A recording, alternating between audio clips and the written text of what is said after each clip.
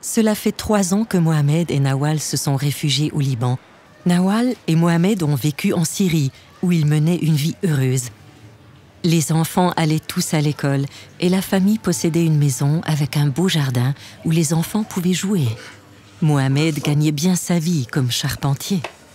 Depuis qu'ils vivent au Liban, pratiquement toute leur vie se déroule entre les quatre murs d'une seule pièce.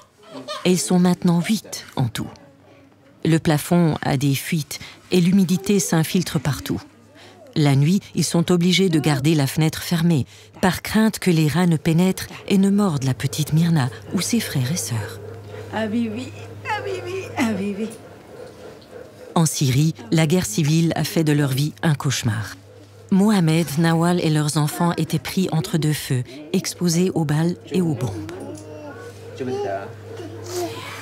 كنا نخاف كتير نفوت نضب الأولاد جوا. بعدين نطلع نلاقي مثلا هون بيت رايح مثلا في جرحى أو في شيء. إيه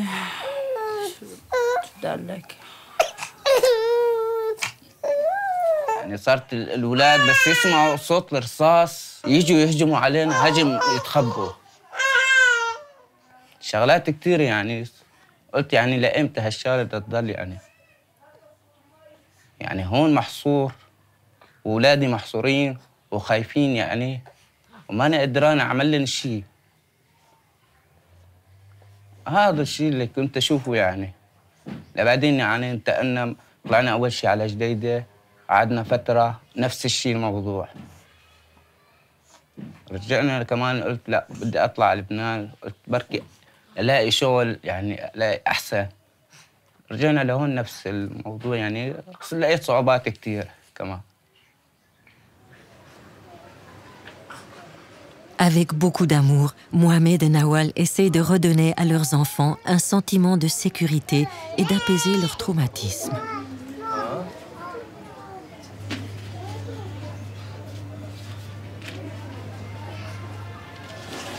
Une salle de bain d'aspect misérable se trouve à l'extérieur du logement.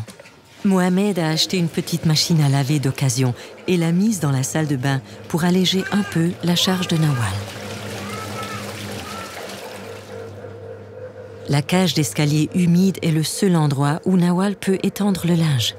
Dans ces moments-là, la mère de famille repense à son jardin en Syrie, où elle pouvait faire sécher les vêtements des enfants au soleil pendant que ceux-ci jouaient avec insouciance.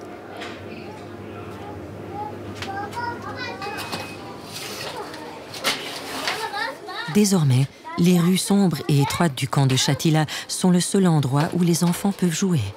Les réfugiés palestiniens de Syrie subissent de fortes discriminations au Liban, notamment à l'école. La petite Shaza a été molestée plusieurs fois à cause de ses origines. Ses parents la gardent à la maison pendant quelque temps pour lui épargner d'autres traumatismes.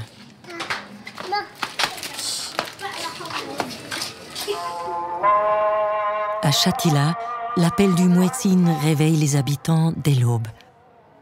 Pour améliorer la vie quotidienne des réfugiés, les pères et Najdé ont mis sur pied un programme de travaux de nettoyage des rues. Mohamed y participe lui aussi. Mohamed se rend dans l'un des trois centres de Najdé à Shatila, où il est reçu par l'équipe de Najdé. Ce sont eux aussi des réfugiés qui vivent à Shatila et qui connaissent très bien la situation pour être passés par là. Avant de commencer sa journée de travail, Mohamed doit aller s'inscrire et enfiler des vêtements de protection. C'est un travail particulièrement salissant, puisqu'il s'agit de ramasser les détritus dans les ruelles du camp. Il n'existe pas de service de ramassage des ordures dans ces rues étroites. Le travail des réfugiés est donc d'autant plus important pour l'ensemble du camp. Les conditions d'hygiène s'améliorent et il y a moins de rats.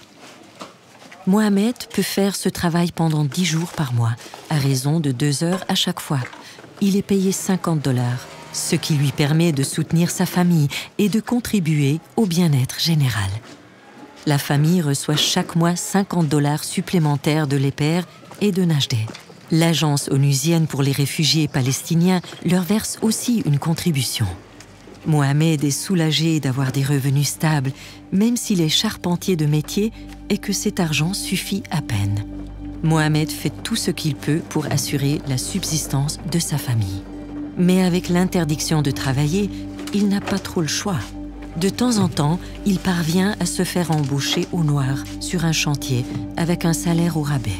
Les Palestiniens de Syrie sont totalement livrés à l'arbitraire et à l'insécurité juridique, sans espoir réel de voir leur situation évoluer. ما عندنا مستقبل يعني هون صعب. لأن أولادي يعني هون ما لهم مستقبل هون يعني. هون ما عندنا مستقبل لا دراسة لا حياة لا عيشة لا. يعني لو درسوا شو بدي يطلعوا يعني؟ لا لا ما في لا حياة. شهادة لا وظيفة لا شيء إنه يلاقوه قدام بالمستقبل. ما نحن هون ب- أنا حاسة حياة واقفة ما في حياة لا. يعني أنت عم تشوفي ب- يعني شو عم يصير بال بقية العالم غير إحنا يعني اللي هلا ما في مستقبل Le petit Raïs a soif d'apprendre à lire et à écrire. Nawal, sa maman, l'encourage. Elle est motivée par l'espoir de retourner un jour en Syrie. Et comme toutes les mamans, elle souhaite plus que tout au monde offrir un avenir à ses enfants. أيوة أيوة لا سوي لها تحت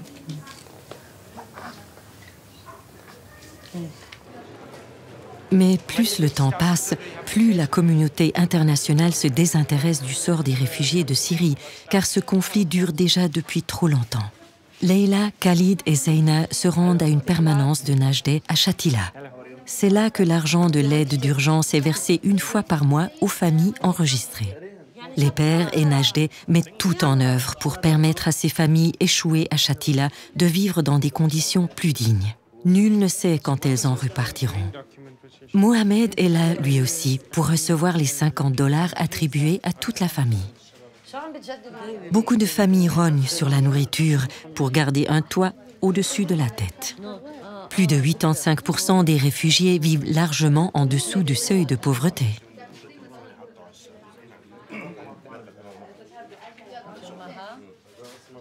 يعني في شغلات ساعدتني فيها شوية خمسين يعني. يعني ريحتني شوية كان مصروف صار كبير علي يعني بتساعدني شوي. يعني المشروع هو في عالم كتير استفادت منه بهالشي بهالخمسين يعني. إيه مو يعني مرتاح يعني هلا بش يعني بالشغل يعني كل مثلا كل ثلاث أسابيع أو لحتى اشتغل اسبوع مثلا يعني بتساعدني شوي بين ما الاقي شغل يعني اسد العالم اللي الى مصاري La pire détresse n'exclut pas la solidarité. Les pères et Najdeh ne relâchent pas à leurs efforts pour régler les problèmes du moment. Cependant, tant que la paix ne sera pas rétablie en Syrie, le quotidien des familles réfugiées à Shatila restera précaire. Mais rien n'y fait. Pour Nawal et Mohamed, il est impensable de traverser la Méditerranée avec leurs enfants pour trouver la sécurité dans un pays tiers. Les parents sont soulagés d'avoir reçu l'aide de les pères et de Najdeh. Aujourd'hui, ils peuvent offrir un vrai repas à leurs enfants, comme à l'époque où la guerre n'avait pas tout ravagé en Syrie. Mohamed et Nawal ont appris que leur maison était encore debout en Syrie. Ils attendent désespérément la fin de la guerre. ترجع سوريا مثل ما كان نفس الشيء. يعني برجع احب أرجع لسوريا أرجع لعند أهلي أرجع لعند أخواتي أعيش أنا وأخواتي بجنب بعض.